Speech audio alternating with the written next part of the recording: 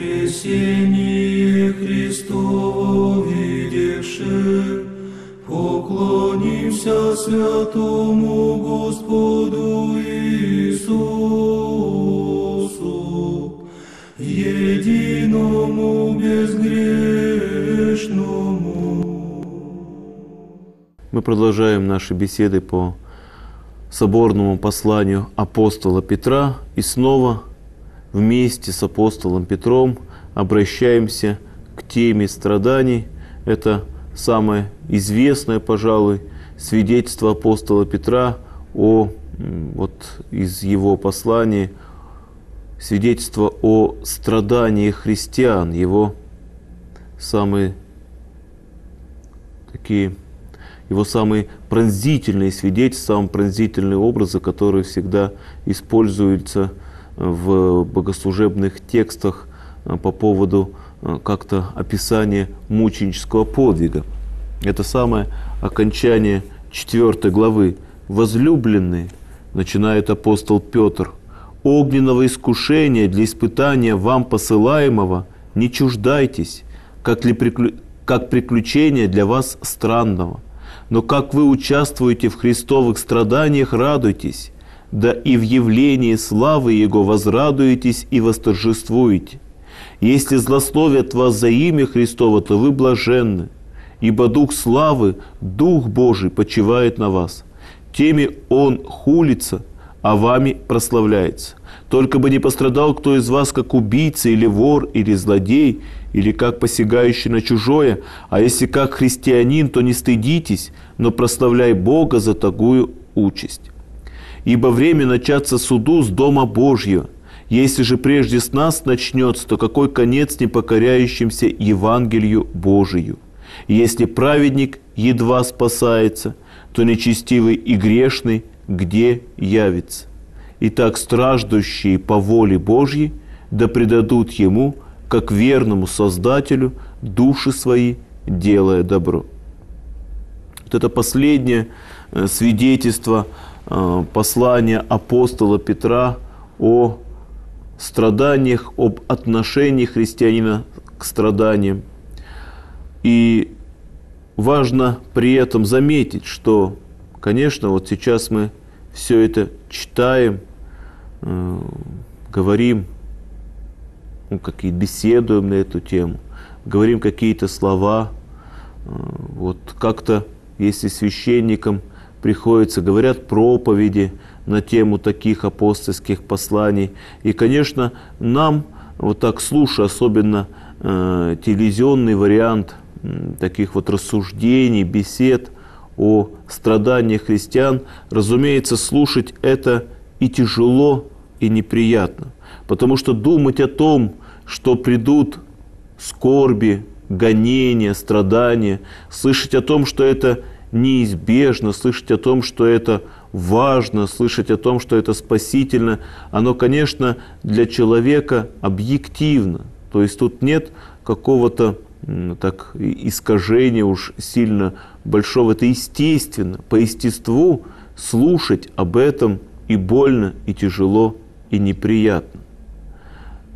И это естественная реакция. Но послание апостола Петра адресовано не вообще к людям и не вообще к христианам, оно адресовано, кроме всего прочего, оно имеет совершенно конкретного адресата. Оно адресовано малайзийским христианам, на которых уже эти гонения обрушились, которые уже страдают, которые, на которых страдали не когда-то там в перспективе, ближайшей, ближайшей перспективе или отдаленной перспективе придет. Оно уже пришло. Они уже э, вот, заключаются в темнице, испытывают там Э, лишение имени, какие-то гонения со стороны власти или еще со стороны кого-либо. Он это важнейшая цель его послания, э, призванная утешить, ободрить людей там, в Малой Азии, принимающих страдания за Христа. Еще совсем немного мы обратимся ко второму посланию апостола Петра, где он продолжает также тему утешения э, как бы невзначай, как бы походя, и самого себя причисляет к этим страждущим, говоря о том, свидетельствуя о том, что и ему извещено о вот ближайшей, готовящейся его кончине. То есть это такая эпоха, такое время. И вот когда эти страдания приходят, тогда к ним и совсем другое отношение.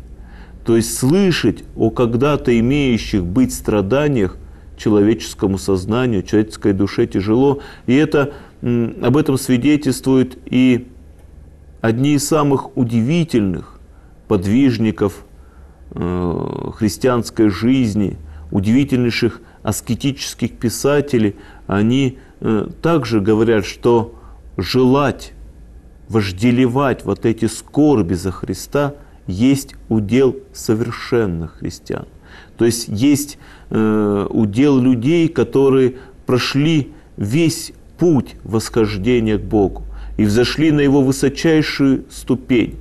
Так что им сама мысль о том, что им надлежит пострадать за Христа, что им надлежит чего-то лишиться ради Христа, она для них вызывает подлинное, неподдельное, не надуманное восхищение. Их душа э, начинает ликовать, как будто бы им сказали, что вот жениху сказали, что и едет к тебе невеста, и скоро вы будете вместе. Вот они достигают этого совершенства, и вот состояние этого совершенства испытывают такие чувства. Но всем остальным, не вставшим на эту высочайшую степень э, вот состояния э, любви к Богу, высочайшую степень христианского благочестия, на высочайшую степень э, подлинно христианской духовности для всех прочих слышать о грядущих, наступающих вот завтра, послезавтра это будет, или через 10-15 лет, или через 30 лет. Слышать об этом всем тяжело, болезненно. Это так реагирует человек на это, если он не объят весь любовью Божией. И поэтому нам об этих, вот эти слова апостола Петра, нам они болезненны. Нам слышать и читать об этом тяжело. Но совсем другое дело, когда эти страдания вдруг с нами случаются, как это произошло с теми малайзийскими христианами, которым это послание адресовано. Когда человек начинает вот сам переживать эти страдания, неважно, они такие великие, как у мучеников первых веков или новомучеников 20 века, или э, просто некоторые скорби по причине нашей веры в трудовом коллективе, э, вот, с родственниками или с людьми, живущими нам с нами под одной крышей, как по слову Христа, враги человеку домашние, домашние его, и такое тоже случается. Вот скорби могут быть разного вида, но когда они случаются, когда мы действительно в нашу меру начинаем страдать от каких-то э, неприятностей из-за того, что мы христиане, вот тогда эти слова апостола Петра становятся для нас значимыми. Тогда мы действительно хотим понять смысл, почему с нами так происходит. В чем причина этих страданий? Мы хотим найти объяснение. Нам важно понять. Это Бог на нас рассердился. Это христианство на самом деле чего-то не дает, чего мы от него ждали. Это э, моя неправильная жизнь тому виной. Вообще в чем причина, почему вот эти вот э, вещи неприятные, неожидаемые, и вроде не имеющие под собой какого-то основания серьезного, почему они со мной происходят?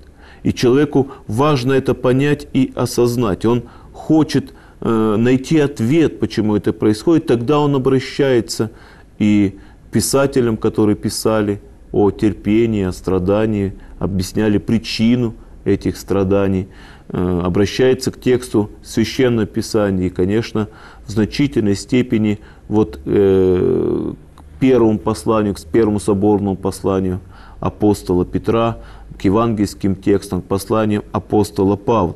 Потому что для него важно, очень важно за теми скорбями, которые, несомненно, для него и неожиданны, и болезненны, разглядеть любящего Бога и понять, вот в своем сердце совместить эту любовь Божью и происходящие с ним страдания. Собственно, вот в этом э, противоречии-то и э, на этом противоречии коренится наше недоумение по поводу страданий. Ведь Он нас любит. Он действительно э, любит нас больше, чем кто бы там ни было. Больше, чем вообще способны любить люди. И мы доверяемся Его любви со всей ну, доступной нам искренностью и полнотой.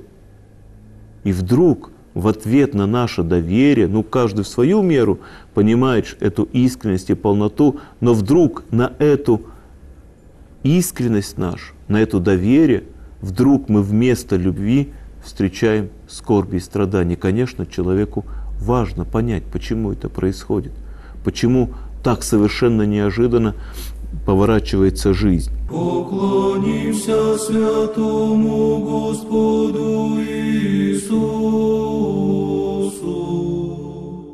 И вот когда человеком случаются эти страдания, на самом деле, вот обращаясь к подобным свидетельствам, э, к только что прочитанному свидетельству апостола Петра, в человеке и начинает оживать собственно, вот и начинает рождаться, возрождаться, оживать, или, как говорят философы, актуализироваться собственно христианская жизнь. Тогда в нем и пробуждается, так скажем, крещение, в которое он когда-то Э, с ним произошло. Собственно, крещение, свершившееся с ним в детстве или же в сознательном возрасте, оно и начинает в нем теперь действовать через страдания, потому что если каждый бы из нас задумался, что есть крещение, он бы понял, что вот, собственно, это и есть умирание, это и есть смерть для этой жизни, это и есть погружение разделение со Христом Его скорби на кресте. Есть сораспятие с Ним. И, естественно, распятие не бывает безболезненным. И фактически вот то, что сейчас с человеком случается скорби, и это и есть исполнение того самого дела, из-за которого он и пришел ко Христу. Ведь каждый, приходя, слышит слова евангельские – кто хочет быть моим учеником, возьми крест свой и следуй за мной. И каждый человек, понимающий, то есть вот слышащий эти слова и приходящий ко Христу, он только в скорбях понимает, и никак иначе он это понять не может. Только в скорбях он понимает, что потому-то он и стал христианином, чтобы терпеливо переносить эти скорби. Потому что только тогда, когда он терпеливо переносит скорби, в нем и рождается, и возрастает христианин. Только тогда, когда он переносит скорби, мир освещается и очищается, и на мир изливается энергия Святаго Духа через то, что я во Христе, по вере во Христа, терплю скорби за Христа.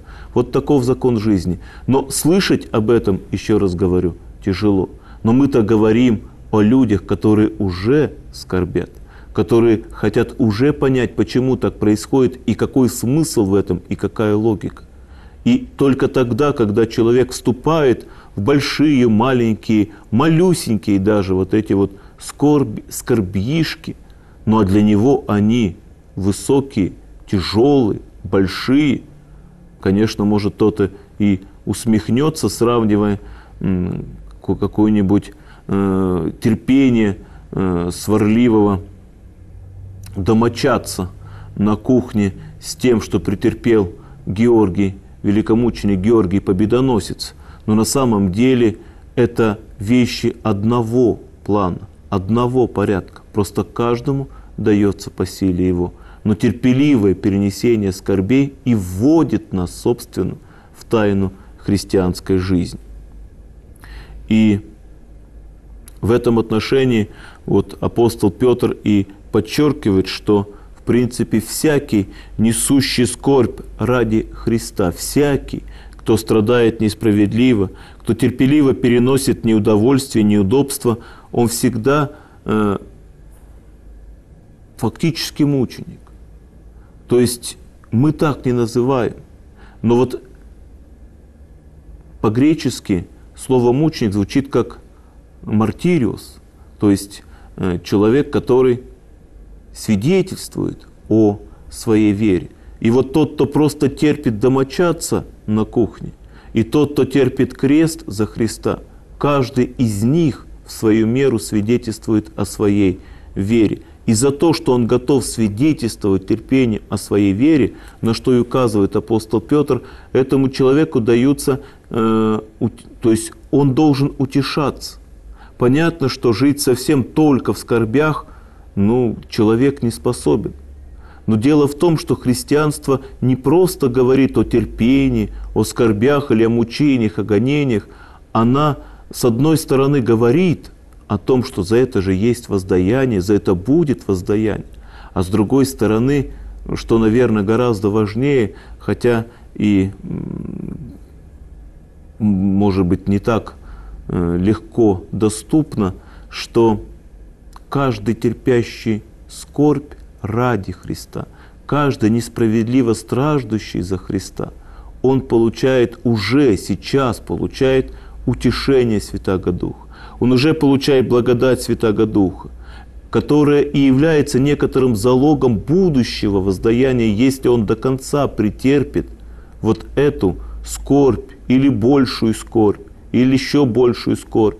Но он мало-помалу, вот э, ощущая это утешение Божье, скорбь не отъемлется, но утешение растворяется с этой скорбью. Он чувствует, реально чувствует это утешение Божье, и это является залогом того, что в грядущем, в будущем, в Царстве Божьем он действительно будет утешен Богом он действительно получит полноту благодати Святаго Духа.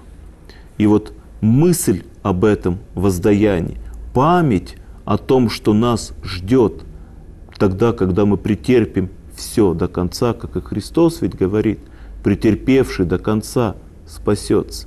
И вот э, эта память, она должна нас утешать и вдохновлять и согревать. Апостол Петр говорит даже о большем, не только память, не только мысль, не только размышление о том, что будет потом, что ждет нас в Царстве Небесном, но само ощущение, переживание, преддверие, предощущение этого грядущего Царства возможно для человека, переносящего скорбь со Христом. И вот эта мысль сама, и это утешение, и это ощущение, переживание утешений, Божьих, оно является некоторым свидетельством того, что мы действительно в церкви, что мы действительно во Христе. Если в момент э, большей или меньшей скорби мы помним о вечном, если в момент больших или маленьких несправедливых укоров, страданий, вот, притеснений со стороны кого-либо, мы вспоминаем о Боге и помним, что надо потерпеть и что Бог воздаст так или иначе. Если мы вспоминаем о наших грехах, которые мы сделали некогда, и готовы ради очищения от этих грехов потерпеть и пострадать, то это значит, что мы на правильном пути это значит, что мы во Христе. Да, даже мы во Христе. Даже с нашими маленькими терпениями и наших маленьких скорбей. Но если в момент этих скорбей мы вспоминаем о вечном, значит мы во Христе. И само это сознание того, что я во Христе, что я не, не оставлен Богом, что я не отринут от Христа, оно, сама эта мысль, она необыкновенной радостью согревает и утешает человека. И наоборот, если человек из-за потери временного комфорта из-за каких-то неудобств, неприятностей, которые, несомненно, и вот и являются все эти скорби и гонения, которые вдруг неожиданно в большой или малой степени обрушиваются на нас, если мы только жалеем об утрате близких отношений, об утрате э, радостного, беззаботного бытия, потере каких-то э, материальных, телесных, душевных или еще каких-то благ, просто скорбим от того, что это ушло. И никакая мысль о, о посмертном нашем бытии, о Боге, о вечной жизни, о том, что за грехи какие-то когда-то либо совершенные, надо бы нечто и потерпеть, если никакая из этих мыслей не приходит нам на сердце, это явное свидетельство того, что мы вне Христа, что мы вообще чужды э, хоть какой-либо благодати Божьей, потому что она-то себя как раз и проявляет в том, что в момент скорби в человеке приходит решимость, сознание, ощущение того, что надо потерпеть, надо переждать за дело страдаю, как разбойник на кресте. Так один из разбойников, так мне и надо. Мы-то за грехи свои страдаем. И вот любая из этих мыслей – это есть действие благодати и э, свидетельствует нам, что мы на самом деле в благодати. И вот это очень важно на самом деле. Вот в этих эти скорби, по сути, эти мелкие притеснения – или большие гонения, которые обрушиваются на христианина, обрушиваются на человека, только начинающего верить во Христа или давно уже живущего в церкви. Все это э, очень яркий индикатор, очень яркий показатель того, насколько мы принадлежим Христу. И если, когда нас злословят, мы не отвечаем, когда нас укоряют, мы хотя бы молчим. Если когда нам какую-то скорбь приносит, а мы вспоминаем о грехах, если нам делают неприятно, если нас э, лишают чего-то, а мы начинаем думать о том, что Господь все видит и в Царстве Небесном не воздаст, это все уже по самому вот эти вот мысли, эти поступки, это уже свидетельство того, что мы в Боге, во Христе и надо радоваться всему. И заключает свое размышление о страданиях апостол Петр интересными, несколько необычными для людей, не получающихся постоянно в чтении Священного Писания слова. Пишет апостол Петр, «Время начаться суду с Дома Божьего. Если же прежде с нас начнется, то каков конец не покоряющимся Евангелию Божьему. То есть апостол Петр Духом Святым свидетельствует, что суд начнется с Дома Божьего, то есть суд начнется с церкви. Это не только в том смысле, что вот тот самый страшный суд, э, вот первый на этот суд явятся э, христиане, те, которые были членами церкви Христовой. Не только в этом смысле, а в том, что вообще в первую очередь Бог наказывает церковь. Первую очередь Бог наказывает верующих в Него, наказывает христиан. Это же мысль, которую засвидетельствует апостол Павел в послании к евреям, известный очень образ о том, что э, если мы терпим наказание, то значит мы сыны Божьи. Ибо где такой сын, которого бы не наказывал отец? А если мы остаемся безнаказанными – значит мы чужие Богу. То есть на самом деле, или вот известная почти уровня пословица фраза «Бог, кого любит, того наказывает».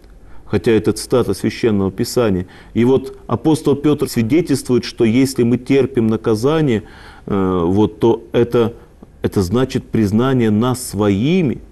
И гораздо хуже не быть наказанным вовсе – и в этом ключе надо осмыслять исторические катастрофы, которые некогда поражали Византийскую империю, которые внима... достаточно часто поражали наше э, российское государство, нашу церковь православную, которая всегда разделяла с народом эти скорби. Это признание нас своими.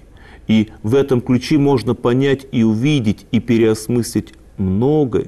И именно так предлагает апостол Петр смотреть не только на страдания конкретного отдельного человека, но и на страдания целых сообществ, вступивших в завет со Христом. Поклонимся святому Христову воскресению, Сего приди крестом радость всему миру.